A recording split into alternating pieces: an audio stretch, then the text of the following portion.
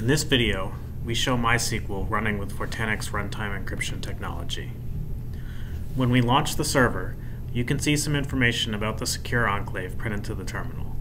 The enclave hash uniquely identifies the code running in the secure enclave.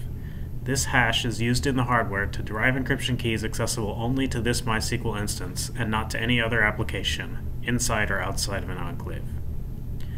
If we examine the memory mappings of the MySQL process in the slash proc file system, we see a large section of memory is assigned to the SGX device.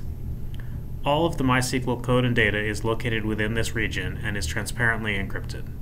Not even the OS or hypervisor can access the plain text contents of this memory. We can interact with this server over TCP just like any other MySQL server. We can create a table, insert some data, and retrieve the data.